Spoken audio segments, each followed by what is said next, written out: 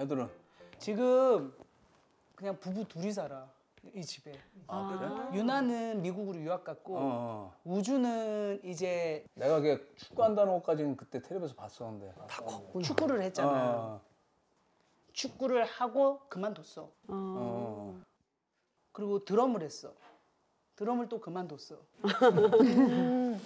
파란 만장하더라고요 우주는 어린 나이에 아주 야.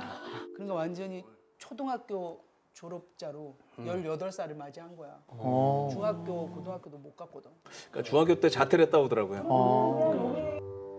그러고는 그냥 여기 계속 그냥 그냥 이렇게 있었어. 그냥 게임하고 제가 와, 어떻게 해야 될까 막 이랬었거든. 어, 고민이 많았겠네요. 기억나는 우주는 게임은 진짜 열심히 했었지. 게임은 진짜 열심히 했잖아. 근데 오빠 반전이 있어. 음. 근데 오빠 반전이 있어. 뭐야 게이머 된 거 아니야? 게이머 됐나? 5월달 프로 게이머? 얘가 딱 5월달 딱 되니까 중등 검정고시를 중학 검정고시잖아. 그걸 패스를 했어. 오.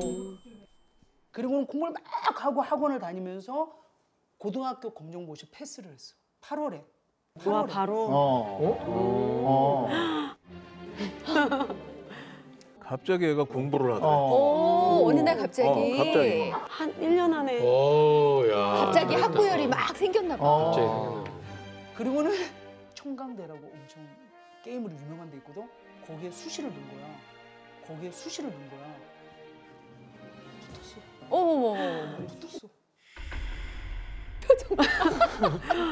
기숙사생활 붙었어. 어머. 진짜 반전이다. 대박 1년 반전. 사이에 그러니까 올해 이제 대학교 대학생으로. 대학생이 됐대요. 와. 그러니까 지 놀 거 실컷 다 놀고 하고 싶은 거 다 해보고 어느 날 정신이 번쩍 깨는 날이 맞아. 있구나. 네. 어.